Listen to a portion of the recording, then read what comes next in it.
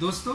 एक छोटे से एक्सपेरिमेंट से हम ये देखने की कोशिश करेंगे कि एक एयर प्योरीफायर में एयर फ्लो कितना इम्पोर्टेंट रोल प्ले करता है। जैसे कि आप देख सकते हैं कि ये हमारा सिस्टम ऑन है और बाकी कंपटीशन के केस में क्या होता है कि हवा ऊपर की तरफ़ फेंकता है या 360 डिग्री सर्कुलेशन को क्लेम देते हैं जिससे हवा ऊपर की तरफ़ जाती है। जिससे क्या होता है कि पूरे रूम में सर्कुलेशन प्रॉपर नहीं होता, जो कि आप इससे देख सकते हैं कि हवा तो निकल रहा है इसके अंदर से, लेकिन ये फ़ैन की कोई मूवमेंट नहीं है, जिससे हमें ये पता लगता है कि यूनिफॉर्म सर्कुलेशन नहीं है, एक पर्टिकुलर एरिया में ही इसका सक्शन और एयर फ्लो हो सकता है।